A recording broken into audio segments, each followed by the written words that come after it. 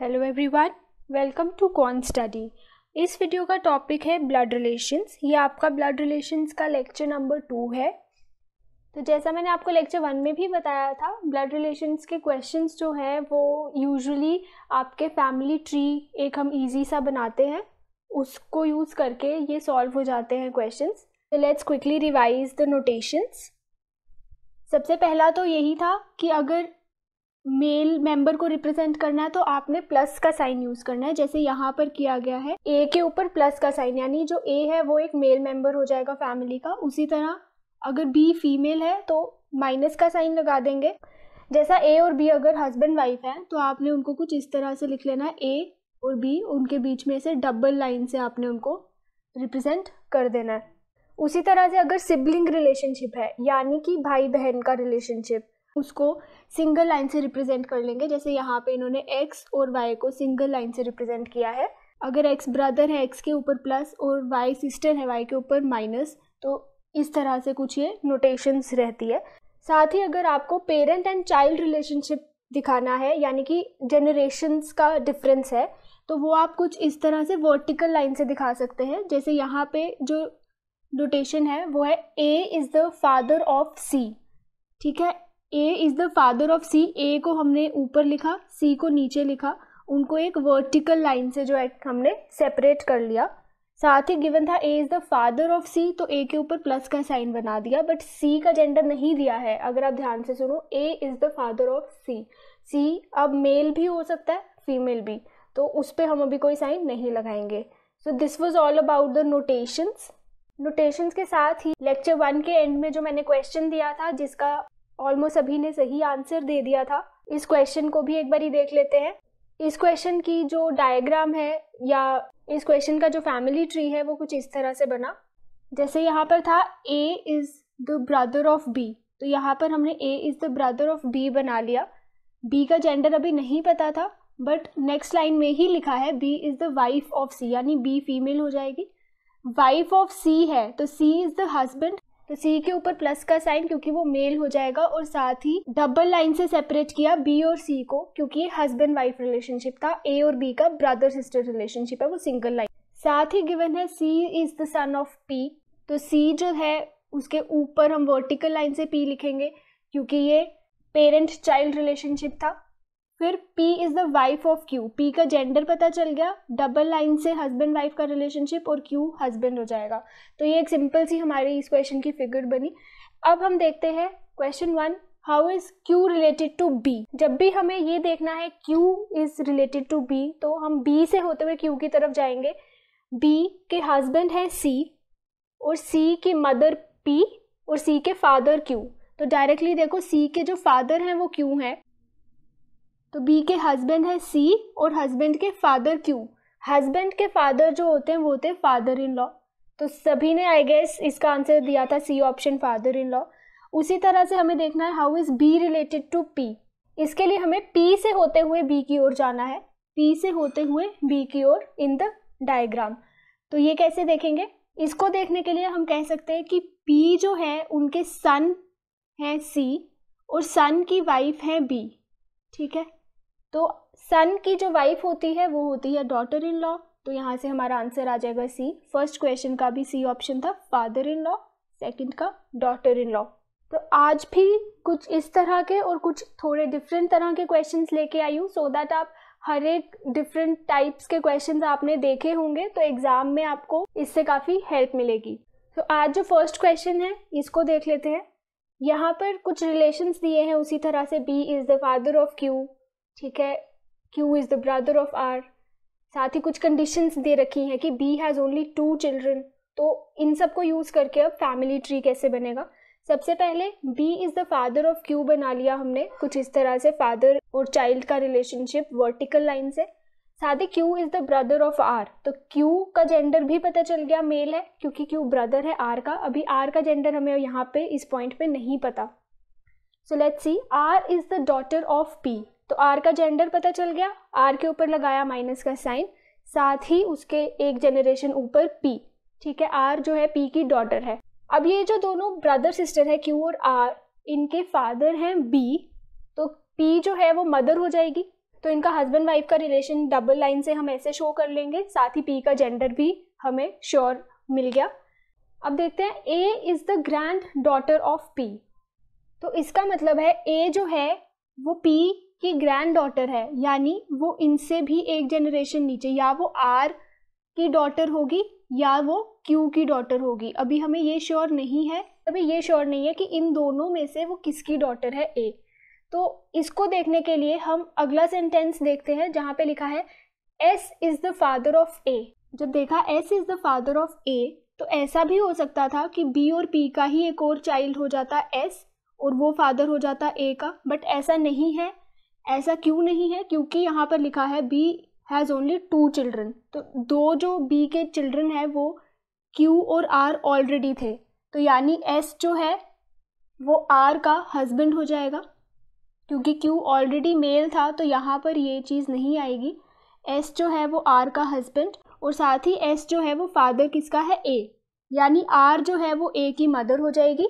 और अब हमें क्वेश्चन पूछा गया है how is S related to Q how is S related to Q तो क्यू से होते हुए एस की ओर जाएँगे। तो क्यू की सिस्टर है आर और सिस्टर का हस्बैंड एस सिस्टर का जो हस्बैंड होता है, वो होता है ब्रदर इन लॉ तो आंसर आ जाएगा S is the brother in law of Q अब ये क्वेश्चन थोड़ा सा डिफरेंट है। इसमें हमें डायग्राम बनानी ज़रूरी नहीं है, क्योंकि डायग्राम बनाएँगे तो पहले आप कैसे लिखोगे? इसमें कि वुमन है, पूरा लिखोगे, फिर उसके साथ एक एरो बना के आप लिखोगे कि सन है ब्रदर है, वो बहुत कंफ्यूजिंग हो जाएगा। तो इसको कैसे अप्रोच करना है, देखते हैं। A woman introduces a man as the son of और फिर आगे कुछ रिलेशंस गिवन है। तो let's see son of the brother of her mother इसको कैसे अप्रोच करना है? इसको हम थोड़ा सिंप्लीफाई करेंगे। Son of the brother of her mother अब जो वुमेन की मदर है, उनके ब्रदर ठीक है? ब्रदर ऑफ़ हर मदर वो क्या होते हैं? वो होते हैं अंकल, है ना? अगर आपके मदर के ब्रदर हैं, वो अंकल हो जाएँगे डायरेक्टली तो हम इसकी जगह इसको लिख लेंगे directly son of her uncle ऐसा आपको एग्ज़ाम में लिखना नहीं है, मैं आपको बस एक अंडरस्टैंडिंग के लिए बता रही हूँ। तो जो सन ऑफ़ हर अंकल जो वुमेन इंट्रोड्यूस कर रही थी द वुमेन इन क्वेश्चन वो कह रही है सन ऑफ़ हर अंकल तो सन ऑफ़ अंकल कौन होता है? ऑब्वियसली वो कज़न होता है। तो यहाँ से हमें आंसर मिल जाएगा how is the man related to women the man is the cousin of the women option number C इसका आंसर आ जाएगा। क्वेश्चन नंबर थ्री देखते हैं। इस तरह के भी कभी कभार क्वेश्चंस आ जाते हैं एग्ज़ाम में कि पॉइंटिंग टू अ फोटोग्राफ और फिर कुछ रिलेशन बताया कि एक मिस्टर राम है, जो एक बॉय की फोटोग्राफ को देख के बोल रहे हैं कि he is the son of the only son of my mother और हमें रिलेशन बताना है how is mister Ram related to that boy वो जो फोटोग्राफ में बॉय था, उसके साथ मिस्टर राम का क्या रिलेशन है? तो इसको भी सेकंड क्वेश्चन की तरह सिंप्लीफाई करके देखते हैं। जब बोला son of the only son of my mother तो पहले फोकस करो only son of my mother को सिंप्लीफाई करो और फिर उनके सन देखो कौन होंगे, ठीक है? Only son of my mother कौन होता है? अगर कोई मेल इंसान जो है, वो बोल रहा है, जैसे मिस्टर राम है मिस्टर राम बोल रहे हैं कि मेरी मदर के ओनली सन, मेरी मदर के एक ही सन है तो वो सन कौन होगा? वो मिस्टर राम खुद होंगे, क्योंकि वो मेल है। अगर कोई फीमेल बोले कि only son of my mother तो उस फीमेल का जो भाई है, उसकी बात हो रही है। बट यहाँ पर हमें जो मेल है मिस्टर राम, वो बोल रहे हैं only son of my mother तो वो कौन हो जाएँगे? मिस्टर राम खुद। तो अब जो बॉय था वो कौन है? The boy is son of mister Ram. But question में क्या पूछा था? क्वेश्चन में पूछा था how is mister Ram related to that boy अब बॉय उनका सन है तो मिस्टर राम फादर हो जाएँगे? ऑप्शन डी इसका answer mister Ram is the father of the boy in the photograph ठीक है? क्वेश्चन नंबर फोर देखते हैं. रीटा सेट रीटा ने क्या कहा? The girl I met yesterday at the beach ठीक है? रीटा एक लड़की से मिली बीच पे, ठीक है? तो वो गर्ल कौन थी? She was the youngest daughter अब यंगेस्ट का इतना यहाँ पे इफ़ेक्ट आएगा नहीं तो मैं डॉटर ही इसको रेफर करूँगी आगे। तो रीटा जिस लड़की से मिली, वो कौन है? वो डॉटर है किसकी? Brother in law of my friend's mother और रिलेशन किसका बताना है? उस गर्ल का जिसको रीटा मिली। साथ ही रीटा की जो फ्रेंड है उसका। तो इसको कैसे अप्रोच करें? Youngest daughter of the brother in law of my friend's mother तो इसको फ्रेंड की रेफरेंस में समझने की कोशिश करते हैं। अब देखो, किसी की भी मदर है, उनके ब्रदर इन लॉ कौन होंगे? जो ब्रदर इन लॉ होंगे मदर के, वो अंकल हो जाएँगे और यहाँ पे फ्रेंड की मदर के रेफरेंस में बात हो रही थी तो वो फ्रेंड जो थी रीटा की, उसके अंकल हो जाएँगे।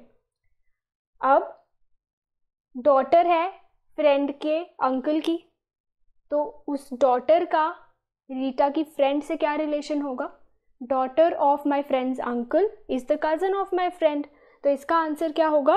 How is the girl related to Rita's friend the girl is the cousin of Rita's friend इसको थोड़ा समझने के लिए मैंने डायग्राम भी बना दिया आपको समझाने के लिए, ताकि थोड़ा अंडरस्टैंडिंग हो जाए।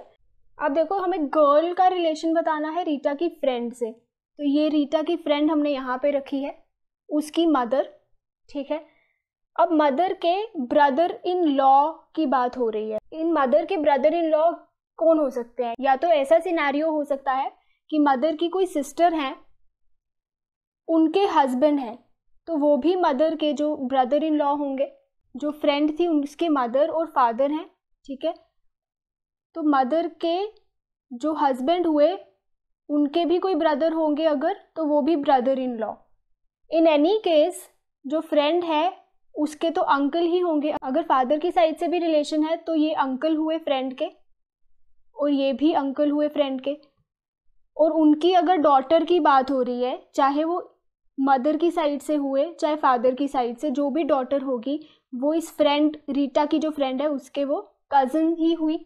इसलिए इस क्वेश्चन का आंसर जो है, वो है cousin let's move forward question number five देखते हैं. P is the brother of Q and R. यानी P जो है वो ब्रदर है. तो P के ऊपर प्लस का साइन बना लिया. और सिंगल सिंगल लाइन से Q और R जो है वो P के सिबलिंग्स हैं, वो मैंने लिख लिए. उनका जेंडर नहीं पता. ये चीज़ पेपर में भी एग्ज़ाम में भी ध्यान रखनी है कि अपने से जेंडर भी एज्यूम नहीं करना अनलेस स्पेसिफाइड इसके बाद देखते हैं एस जो है वो आर की मदर है. तो यहाँ पे हमने एस इज़ आर्स मदर और एस का भी जेंडर मिल गया हमें। फीमेल है तो माइनस साइन।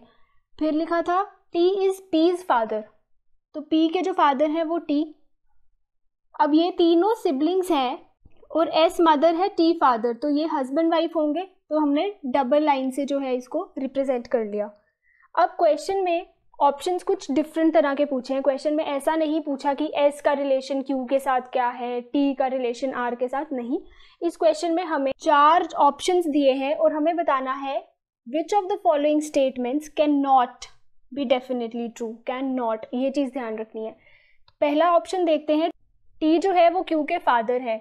ऑब्वियसली अगर ये तीनों सिबलिंग्स हैं, ये इनके मदर फादर हैं तो टी जो है वो फादर हुए। तो ये स्टेटमेंट तो ट्रू हुई। अब नेक्स्ट देखते हैं एस इज़ पीज मदर तो वो भी ट्रू हुई। उसी तरह से पी जो है, वो एस के सन है। पी का जेंडर पता था मेल तो पी एस के सन है, ये भी ट्रू है। अब लास्ट ऑप्शन बची तो यही टिक करेंगे बट एक बार चेक कर लेते हैं क्यू जो है, वो टीज सन है। आंसर ये सही है बट ये जो स्टेटमेंट है, ये ट्रू नहीं है, और यही हमें पूछा था can not be definitely true Q जो है वो टी का सन हो सकता है नहीं भी हो सकता क्योंकि क्यू का जो है हमें जेंडर नहीं पता कि क्यू मेल है या फीमेल है हमें नहीं पता। तो हम डेफिनेटली नहीं बोल सकते कि क्यू टी का सन है। क्यू टी का सन या डॉटर है ये चीज़ हम डेफिनेटली बोल सकते हैं। सो so, हमारा आंसर जो होगा वो होगा ऑप्शन डी अब इस क्वेश्चन को देखते हैं।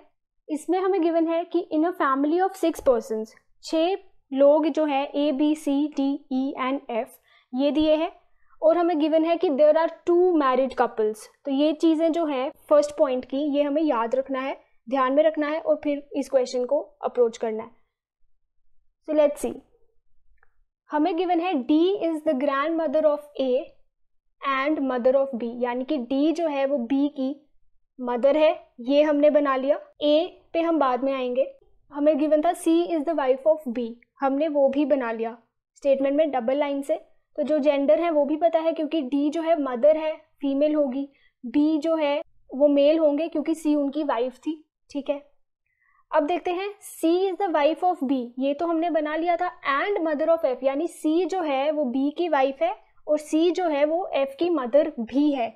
तो हमने उसको रिलेशनशिप को कुछ इस तरह से बना लिया वर्टिकल लाइन से।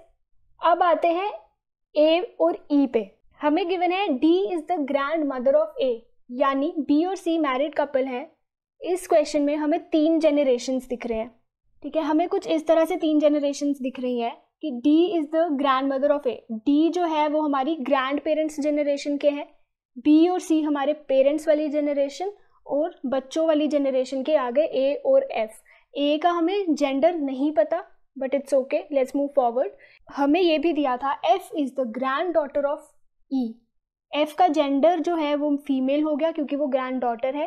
और वो ग्रैंड डॉटर किसकी है? ई e की। यानी ई e भी जो है वो हमारे ग्रैंड पेरेंट्स वाली जनरेशन के हो गए। अब देखते हैं इस क्वेश्चन को कंप्लीट कैसे करना है। हमें जो भी गिवन इन्फॉर्मेशन थी वो हमने बना ली बट कंप्लीट कैसे होगा? हमें गिवन था कि there are two married couples अगर आप इस पे फोकस करो कि हमें लिखा था कि टू मैरिड कपल्स हैं, एक हमने बना लिया था कि बी और सी मैरिड कपल है। ए और एफ़ जो है, वो ब्रदर सिस्टर या सिस्टर सिस्टर रिलेशनशिप होगा, क्योंकि वो दोनों ही जो है, वो बच्चों वाली जनरेशन के हैं। यहाँ से हम देख सकते हैं कि जो डी और ई e है, यही दूसरा मैरिड कपल हमारा है।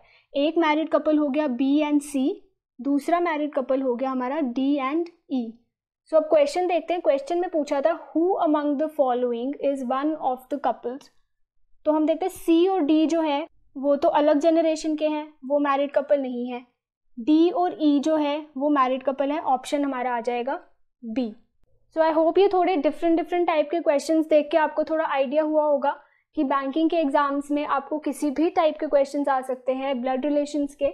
इसी तरह से आप क्वेश्चंस प्रैक्टिस करते रहिए। सो so, आज का try this yourself question ये आपकी स्क्रीन पे आप देख सकते हैं। इसमें भी कुछ इस तरह से गिवन है कि सिक्स फैमिली मेंबर्स हैं A and B married couple है और उसी तरह से कुछ और कंडीशंस गिवन है। उसके बेसिस पे आपको ई e और सी का रिलेशन जो है वो बताना है।